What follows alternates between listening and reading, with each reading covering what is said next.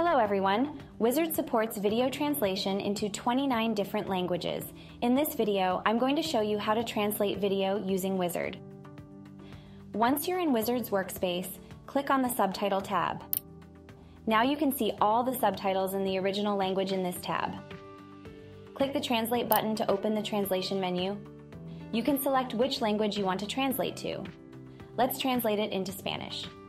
Click Translate Wait for a moment, the Spanish subtitles will appear on the right side.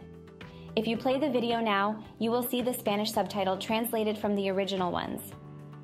If you want to display both the original and the translated subtitle together, go to Setting, turn both languages on. Now you can see both sets of languages subtitle. For now, you can click the Style button to give the subtitles some cool styles.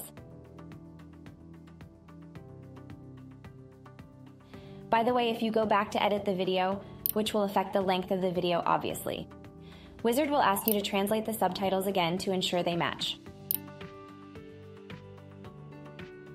Alright, those are all the things you need to know about translating subtitle in Vizard. For now, use the function to reach your global audience.